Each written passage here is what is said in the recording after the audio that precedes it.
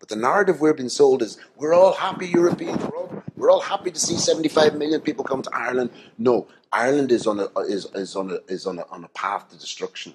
And the very authors of that destruction are our politicians, our elected, uh, elected and unelected, the, the, the civil servants, you know, who make the decision to give away all our money to countries who don't need it anymore. We need it.